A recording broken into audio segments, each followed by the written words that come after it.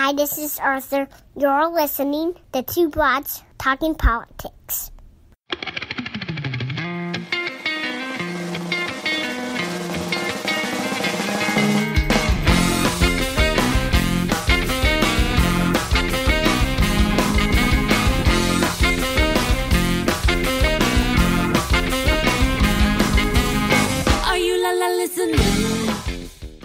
Hey, everybody, this is Kelly with Two Broads Talking Politics. I'm on with my co host Sophy. Hey, Sophy.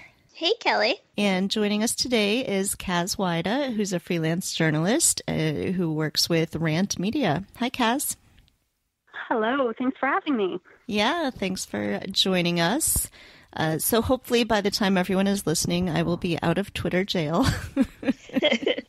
Uh, it's it's been a, a day for Twitter, uh, or a few days, but um, there there's been a lot going on in the news, and a lot of this sort of stuff gets amplified and spread around by Twitter. And I didn't actually do anything bad to get put in Twitter jail, but people do, and uh, sometimes people get banned for things, and sometimes they shouldn't. So uh, maybe we should start by talking a little bit about sort of the big news story of the past few days, uh, or at least the story that has taken over everything, whether or not it should have, which is this story about uh, the Indigenous Peoples March that was in Washington, D.C., and it was at the same time as the Right to Life March. And there were a bunch of high school kids from Covington, Kentucky, from a small Catholic school who interacted with uh, some people at the other march. They were there for the Right to Life March, interacted with some people at the other march, and has led to a several day now brouhaha. so, uh, Kaz, what do we sort of think about all of this? Uh, there, there seems to have been a lot of um, a, a lot to dissect with how the media is covering all of this. Well, I, I think what you're seeing is a real concerted effort to start a culture war by people who are interested in seeing that happen. Um, because number one, it's a great distraction from real issues. Not that this isn't a real issue, but and number two, it benefits folks who want to make money off of culture wars and who want clicks and and sort of the sensationalism of it. So sadly, what that means, though, is that the people who are sort of at the center of this controversy end up getting swept up in it in a lot of different ways. But I think one of the things that really struck me about this whole thing is that, you know, the way that the media sort of both siding it is is very typical for them, and they've sort of reverted back to some of the default coverage, I guess I would say, where they feel like rather than presenting something that's fair, they have to give a platform to everyone for everything. And I, by doing that, they sort of reinforce the idea that, you know, a certain narrative of what happened is justified and all it does is just sort of amp up this tension up and up and up. I mean, you saw it on Twitter, right? You sort of couldn't escape it everywhere you went over the weekend. So yeah, it was kind of shocking. I actually, at some point, I, again, this is not what I was put in Twitter jail for, but I, I, was trying to, like, just be like, can I find a spot on Twitter where I don't have to watch this video again? like, mm-hmm. I don't want to see these boys' smug faces anymore. And it, it was very difficult to, to even like find and granted like everybody i follow is all political and you know so uh, of course i've put myself into those spaces but it, was hard to just uh, get away from it at all. Yeah. And i for me uh, one of the things that i did was sort of take a step back and look at you know regardless of who said what or who pushed who first or who was doing what in this whole hour long video. The fact remains is that these boys were being chaperoned and it was a school field trip. And that is the thing that just blows me away. And the whole premise of it that you would take a busload of boys from the only all male school in northern Kentucky to go protest a woman's right to control her own reproductive system is absolutely batty to me. Like, why would you take a whole group of teenagers on a trip like that, number one? And then number two, why would you stand by while this was happening? Because as we've seen sort of emerge in the last couple of days, there are several videos of these boys like heckling people and doing all sorts of different things over the course of the day. And I keep thinking, where are these chaperones? I actually don't even really blame the kids. I mm-hmm. I can't figure out what the hell is going on with these chaperones.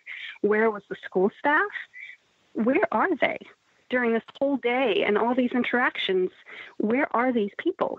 And and I hold them primarily responsible. You know, I don't I'm not saying I feel sorry for the boys. They obviously acted very badly, as did a lot of other people who were there at the time. But what really struck me a lot is just these these chaperones, the school staff.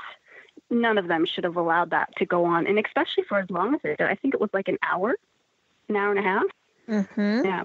And I, I agree with you. And as I was talking with a friend of mine on social media, shout out to Michelle, it's really surprising to me that the chaperones or whoever was supposed to be sort of directing this trip didn't speak to the kids about what to do if approached by people who disagree with them. I mean, that's kind of like bringing your kids to a protest 101, no matter what side of the protest you're on.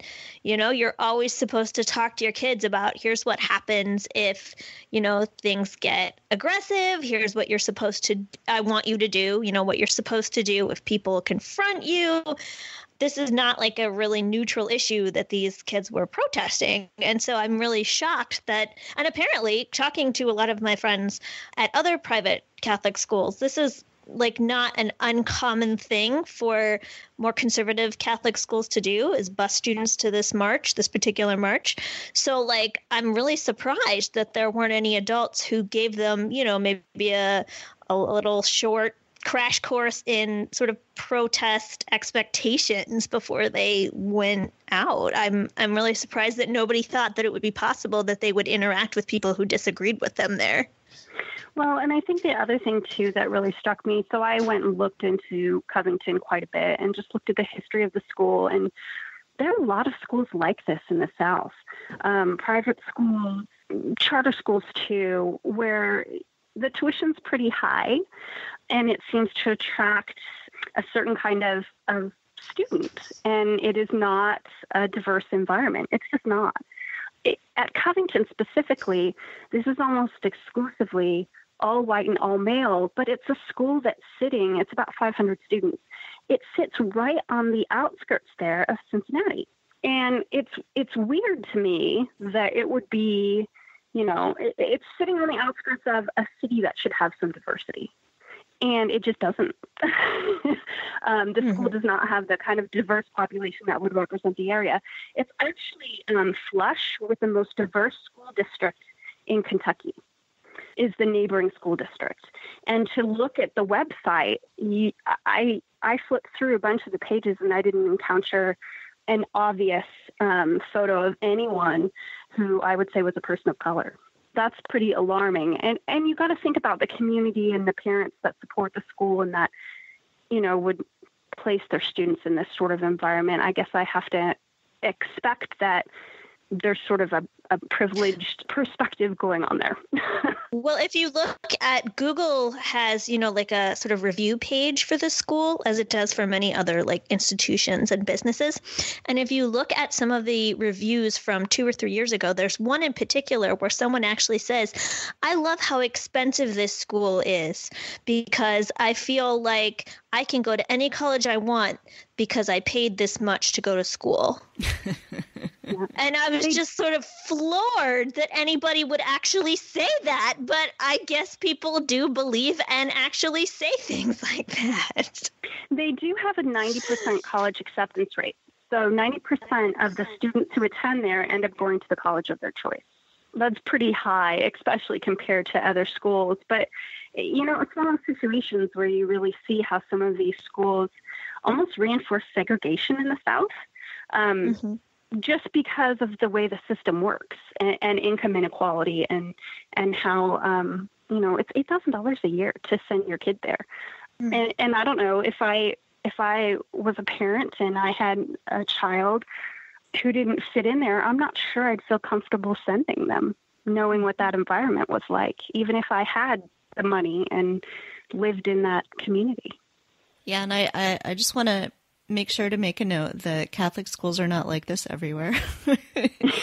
so my kids go to Catholic school, uh, but Catholic school in Chicago is very, very different uh, and much more racially diverse. So uh, and nowhere near as expensive, which is part of the reason uh, that it ends up being more racially and socioeconomically diverse. Um, but yeah, I mean, the, there's there's certainly something going on in the South uh, with not just these Catholic schools, but all of these private schools, and you know, yeah. trying to be as undiverse as possible. Yeah, and and I think too one of the things that I saw in the coverage, at least, of this situation was also quite a lot of privilege.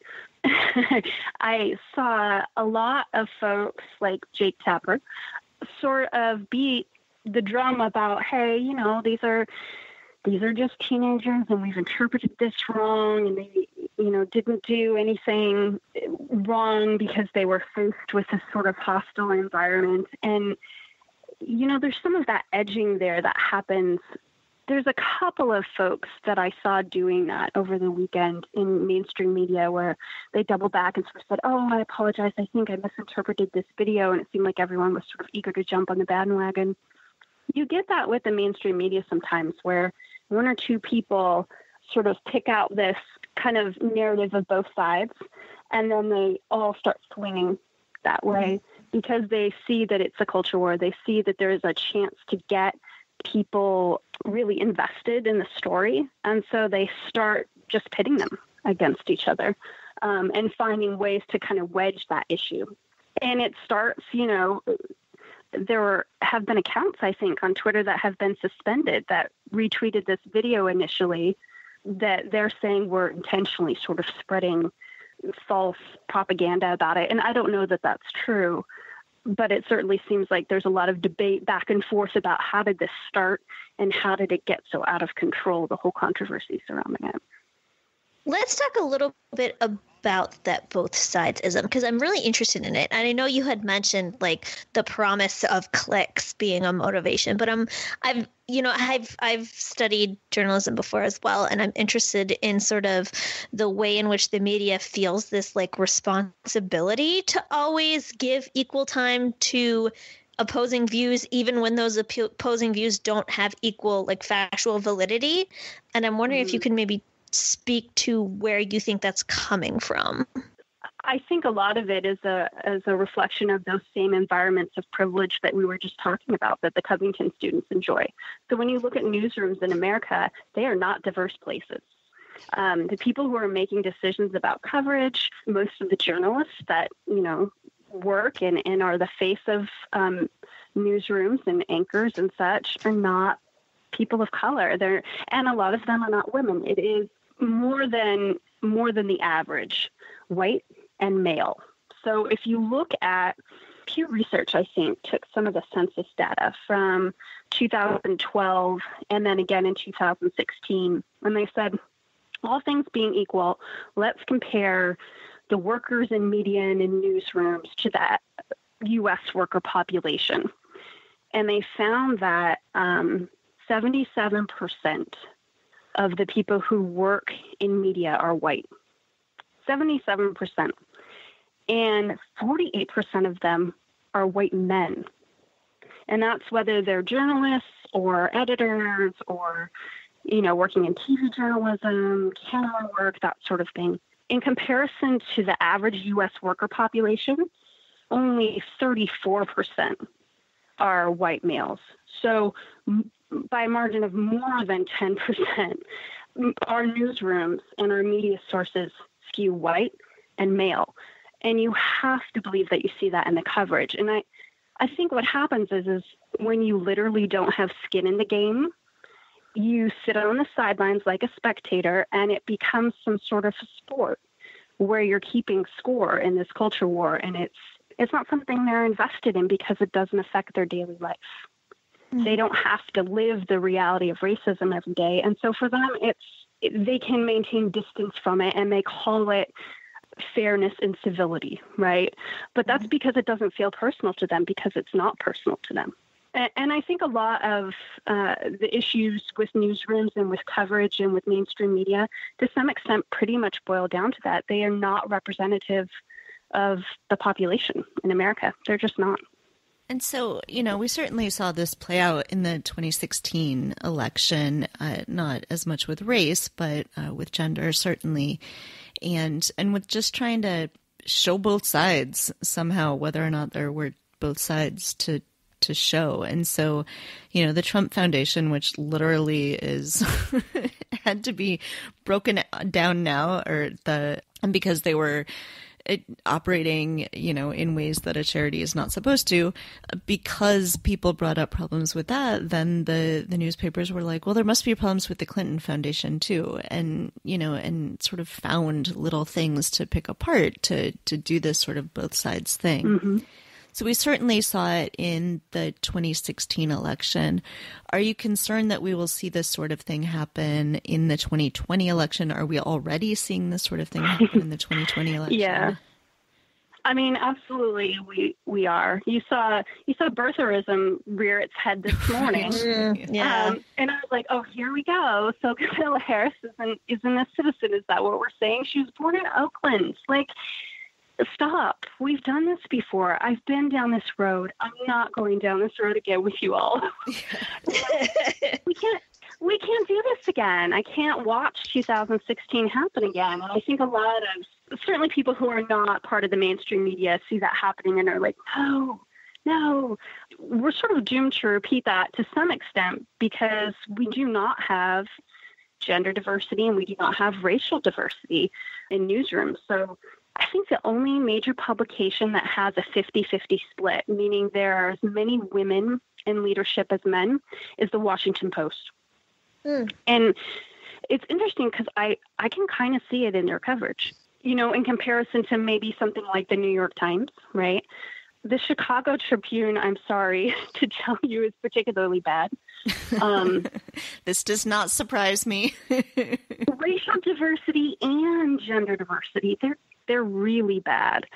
It's you know, and, and, to be fair, it's not just the media, right? Seventy-two percent, I think, um, of the top 16 Fortune 500 companies are run by white men. You know, and those are just the ones who are willing to give you data about what their um, leadership looks like. A lot of you know media organizations and, and Fortune 500 companies won't even give you that information. They've tried to do research and they won't be transparent about it because they know how bad it looks. And, and so yes, I think we're going to continue to have this problem. I've already seen it. it's already happening it's going to be particularly bad, and we're going to have to constantly stay on media sources about this because there are so many women and people of color running. And I'm thrilled, but it is going to be a knockdown, drag out fight to get them not to return to these old habits of, you know, both sides. I get to sit on my perch of privilege and instead of, you know, sometimes your mother used to say to you, it's not about being fair that the fair thing is not about everyone gets equal, right? Fair is not equal. So I think a lot of times they think, well, we got to give everybody equal coverage. That's fair. That's both sides. But that's not an accurate picture of what's actually happening. And it's not a fair or balanced perspective in a lot of cases. And because they aren't people of color and they aren't women, they miss it. They don't see it because they don't live it. They're blind to it. So I think we're sort of doomed. Sadly, sorry. Do you suppose that stereotypes about gender and ability are playing into this even in newsrooms where there is some representation. I'm I'm wondering about this because I've worked in uh, newsrooms in like community or small town newspapers, and in my experience, not only were the newsrooms not diverse, but in general, the people assigned to cover the political beat, local or national, tended to be men, and the women tended to be assigned to do sort of the community news stories or the food section, stuff like that. Yeah. So I'm wondering if you think maybe there is, even on top of a lack of representation, maybe some sort of subconscious bias going on in terms of who gets to cover political stories. where I think that also comes into is when you look at online news versus, mm-hmm. you know, print or television. So in online news, we actually have better diversity. And I sat down and puzzled about that for a while, but I figured out what it is. It's because you can do it from home. So women mm-hmm. who are often you know, managing, um, being the primary caretaker for children or elderly parents or what have you, can multitask and do all the unpaid labor of the household and then also do all of the online um, sort of publication that's freelance and that's not um, well paid. And in fact, what mm-hmm. I suspect if you were to look really hard at employment numbers, you would find that um, there's a ton of baked into that number, there's a ton of underemployment. So women, people of color who are not um, able to have or, or don't have the privilege and the opportunity to have and the support to have full time jobs where they leave the house, go to work, um, and, and work at these publications that uh, provide them a path towards a career in leadership or you know editors that sort of thing. And that's why you have no bench. There's no bench for the editorial staff in terms of diversity and, and gender. Um, they don't have a lot of people that they can tap to come up through the ranks because they just haven't built in those opportunities for uh, women and, and for minorities. And as newspapers are cutting their stuff and are folding mm-hmm. and are pushing more people to you know, be stringers and freelance and fewer people to be full time mm-hmm. in a newsroom, it's probably, you know, becoming less important for to the newsroom, yep. not to us, but to the newsroom that they worry about things like diversity. Yeah, exactly. And, you know, it's also that we have baked into our ideas of who to trust and who's credible uh, this sort of authority authority figure, and and that picture is usually white and male. We think traditionally of people like Dan Rather, right? When you think of who you trusted as a news source or who your parents trusted as a news source, I guarantee you it was not a woman and it was probably not a person of color. And so we have to acknowledge that when we think about, we have a subconscious, right? And when we think about, do I trust this source? that's our frame of reference. And news networks know that, right?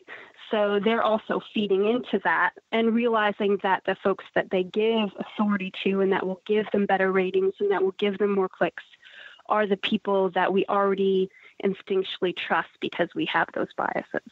And so we've already seen this come out. You mentioned the the birtherism stuff, but the other way this mm-hmm. has come out already in the 2020 cycle is uh, in in two ways really. CBS said, you know, put out this thing that like they'd hired the people who were going to cover the 2020 election, and they had no African American reporters on that, uh, and they they got a lot of flack for that. Uh, and I think they did end up hiring someone.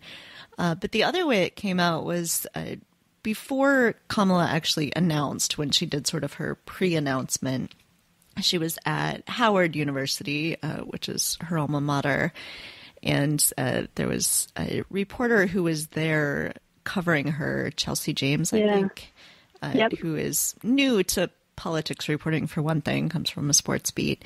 Yes, she's a sports reporter. yeah, right. So bizarre. She, you know, she said something, you know, and she was she was covering in good faith. You know, she wasn't. This was all stuff that she she didn't even realize uh, she was had certain biases. But she said something about that that Kamala was welcomed with a screech. Mm-hmm. And it turned out that actually that was a very particular sound that the women of Alpha Kappa Alpha, which is a yeah. huge African American sorority, it's a sound that they make. And, you know, it, it, so of course Kamala would have known what that meant, but this reporter did not. And, you know, so there was this whole question of should she have known? Shouldn't she have known? You know, should she have leaned to the person next to her and say, you know, what were they saying?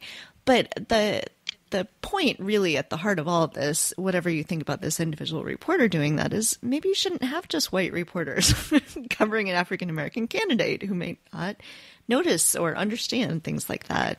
And so it, it Yeah. really sort of plays into a lot of this is, you know, what, it, reporters to a certain extent already had to figure out how to cover Barack Obama, but you know that that was sort of one level. Uh, you know, if you have a, a African American man, but to have a woman, you know, they already don't know how to cover women and aren't very good at it. You know, and to have an African American Indian woman, you know, what what does that mean? How do we cover her? And and I suspect that's not the last time they're going to have trouble figuring out that tension.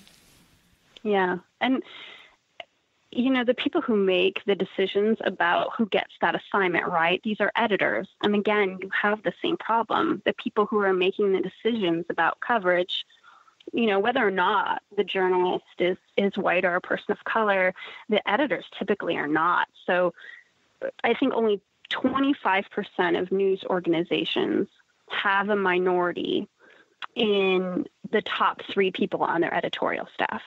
So if you look at who is their managing editor, who is their executive editor, only 25% of news organizations have a minority of any sort in the top three of those positions. And those are the people who are saying, you know, hey, go cover this candidate. Um, they make those decisions. And if they don't have that frame of reference, they're probably not making the right decision. It is discouraging. Yeah. I uh, just as a total side note, I live about a mile from the international headquarters of Alpha Kappa Alpha, and so I knew things like their colors and stuff, but I did not know about this uh, skee-wee thing that they do. Yeah. Uh, so I, I learned something too, and I was very excited to to learn something. I kind of wanted to walk into the, the building and be like, "Oh wow, this is so cool," but that didn't seem appropriate either. I had a friend who actually uh, went to college in uh, the DC area, and he picked up on it right away. He knew exactly what it was. And he said, Oh man, you know, they really screwed this up. And his comment was, is that, um, you know, black fraternities have a very, very rich history and they are very, very intimate groups and they keep those ties usually he said you know from college on throughout their careers and, and throughout their lives and those end up being very close knit groups. And and and so likely there was a whole bunch of history there that that reporter was not even dimly aware of for that group so Yeah, and history that could end up being very important in whether Kamala can mobilize certain communities and, you know, what kind of support she's going to have. And so it, it could be a story that's really important, more important than just, you know, did the reporter in the moment understand what she was saying or not? right and you know to be fair to that reporter she did apologize and Yes, she seemed yes. mortified by her mistake and i don't necessarily you know she she knows now. Um but it was that's a hard lesson to learn and her editor should really have never put her in that position. So as a sports reporter of all things. So the other news that broke today that I think may also uh, be informed to some extent by having so little diversity in newsrooms is uh, that the transgender ban in the military, uh, uh, essentially the Supreme Court said that parts of the ban can continue to go into effect while the lower courts are still hashing it out. So there's not like a final decision on all of this, um, but it's no longer stopped from moving forward in certain ways. I mean, this is another area where we have virtually no diversity in newsrooms right now. And I, I'm wondering if, if we think there's any any nuance to the coverage if if that seems like it's being covered in a fair way. I mean, the one thing that's really troubling to me, not just in the reporting on this, but the reporting on a lot of issues, is uh, it, being framed in stories as a, a win or a loss. You know, so the Trump administration scores a big win on you know being able to ban transgender people from the military. And it's like that's not a win. That's not a win for anybody. You know i i think that we shouldn't be thinking about politics so much in those terms of win and loss and that you know maybe in a way it's it's because of this privilege that you pointed out that if if you don't have skin in the game if to you this is just i'm reporting from on high about what's going on that it's easier to sort of think of things in terms of wins and losses Yeah, and when I heard that news, all I could think of is these poor people who have made this, you know, the cornerstone of their life and, and served and really been very passionate um, about it. And we're telling them we don't want you here. And and it's so sad to me because the majority of Americans don't feel that way. I think it's 58%, maybe more. That was a couple of months ago, I think, when I saw that poll, but support transgender service members. And so you're getting a ruling from a court where minority rule is sort of baked in, and it doesn't really reflect how the majority of Americans feel about having transgender service members in our military. It's just not reflective of the reality. Mm-hmm. And so my heart just hurt when I saw that. Just I think of real people. It's mm-hmm. I think of mm-hmm. real people that I know and how you know, they already struggle to feel accepted and it's just not fair to do this to them and to take that away from them. Mm-hmm. But the other thing that really gets me in the reporting at least is the complete absence of science they keep arguing about this as if there is a valid medical reason that transgender people can't serve, and that is not factual. It is mm-hmm. not factual. And they continue to leave that out of the discussion as if there is some sort of both sides to the science behind it. There is not. Um, mm-hmm. Many, many medical professionals have said there is absolutely no reason um, that transgender folks can't serve in the military. This is not something that should be an obstacle, and yet we continue to kind of leave that out of the story. And I and I think it's because you know the people who are writing the stories and the editors and, and the folks crafting coverage don't really have the relevant knowledge, and they also mm-hmm. aren't really seeking it out. Yeah, that's interesting. We only put science reporters on, you know, quote unquote science stories. So maybe mm-hmm. you'll have a science reporter on like a climate change story, although even then, maybe not.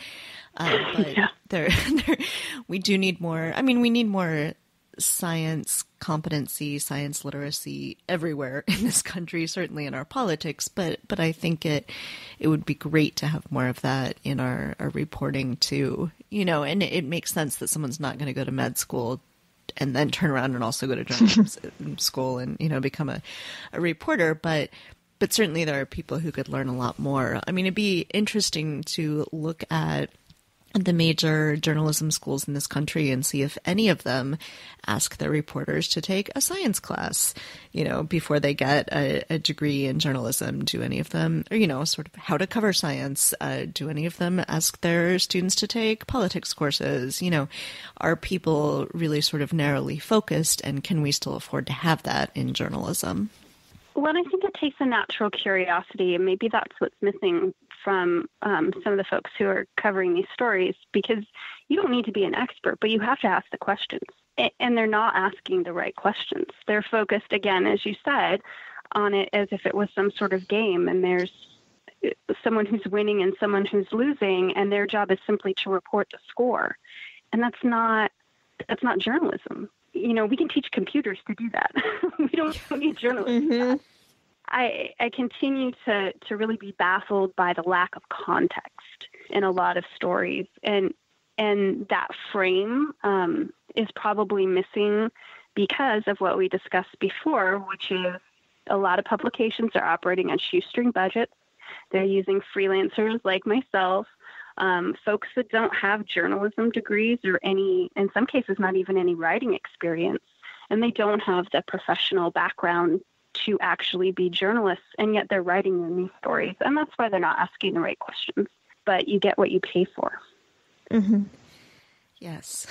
See also the state of higher education in this country. So we've identified, I think, some really important problems. Do we have any uh, solutions or thoughts toward solutions? Are there new sources we should be seeking out? Are there things we should be demanding of our news sources? Do you have any thoughts on that? I would continue um, to keep an eye just on some of the diversity in the newsroom stats and, and studies that are done.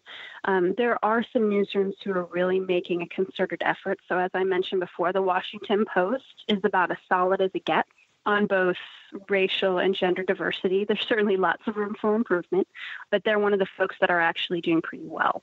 the Wall Street Journal, surprisingly, um, is doing all right in that respect. Again, room for improvement. But those are two sources, major sources that jump out at me that, you know, if you wanted to get well balanced, some people say, oh, the Washington Post leans left. Well, the Wall Street Journal leans right. So how about read both of them? And then you know, read maybe two or three other sources. I mean, that's the big message. You really have to diversify your news and you really have to go ask the right questions and be curious um, because unfortunately, I don't think the media is going to bring it to you.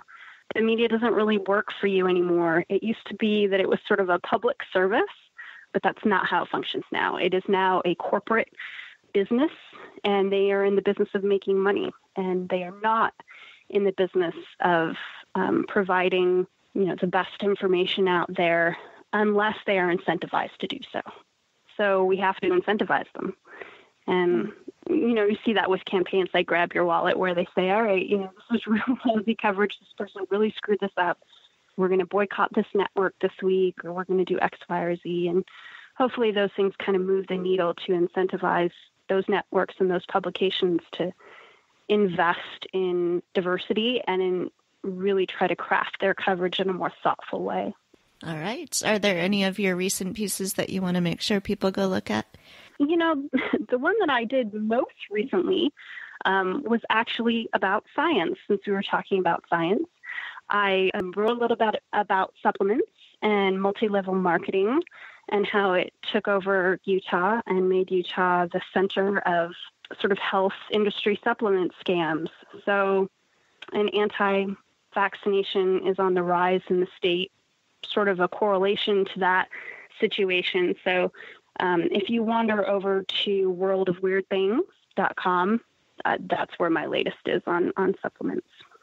All right. And we'll put a link up to that as well. So, Kaz, thanks so much for uh, joining us on the podcast. This has been really fun. I think maybe as we get further into the uh, presidential cycle, which is going to take over all of our lives very soon, we'll want to check back in and, and see how the news is covering the presidential candidates. yes, hopefully I'll have better news then and, and more optimism. I I hope. And hopefully by then I'll be out of Twitter jail. So uh, catch us on Twitter. uh, and if you don't already follow Kaz on Twitter, definitely do. I I, I love uh, how you sort of pull apart issues and and your threads are really great. So I hope I, everybody goes and follows you. Thank you. I appreciate that. I follow you as well. So. All right. Well, thank you. And uh, everybody stay warm. At least here in Chicago, it's going to get bitter cold by the end of this week. So, mm-hmm. uh, too. Uh, climate change is still happening, and we'll be back to climate change next week on the podcast. Uh, the weather and the climate have nothing to do with each other. I'm sure you all know that, but science is an important skill. all right. Well, thank you, Kaz. Thank you very much for having me. Thanks for listening to Two Broads Talking Politics.